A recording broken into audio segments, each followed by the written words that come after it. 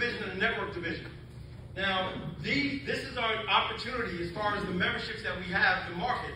And we're getting the word out. How do we get the word out? We're getting the word out through one of these two divisions, okay? The business solution gives us the ability to go into a company or a small business and offer the plan to either the small business or to the employee group. Is that exciting, guys? Yes. Depending on the size of the company, there's huge opportunities.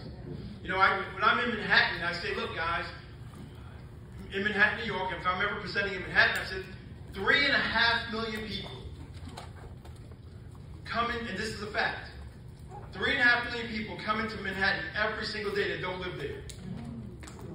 Three and a half million commute into Manhattan through the subway or over the bridges, because it's an island.